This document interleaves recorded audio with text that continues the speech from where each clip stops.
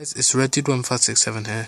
In today's video, I'm going to be showing you how to obtain Manectric's Megastone. So first you're going to have to head for the cycling road, uh, which is on Route 110. Uh, I think to make it easier for yourself, you can just head for Mauville City. Uh, I think that's what it's called, and then just head back, head on back down.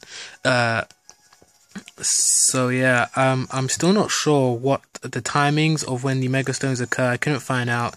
So if any of you guys know if there is actually like a time period between um, when the megastones pop up, or if there even is a time period.